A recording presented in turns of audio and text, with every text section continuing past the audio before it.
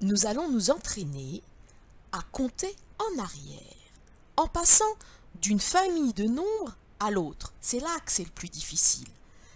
Alors pour ça, on va faire un petit furet comme à l'école. Je vais commencer à compter en arrière, tu sais, en reculant comme si tu descendais dans l'escalier.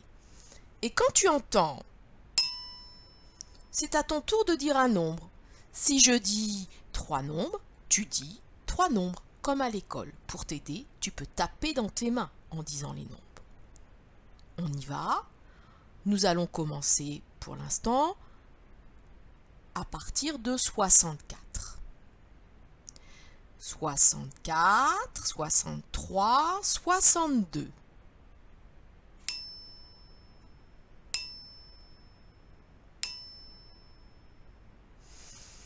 58, 57, 56.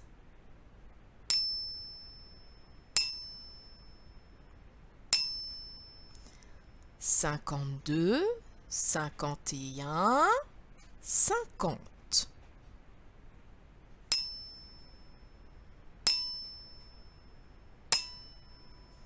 Tu dois arriver à 47.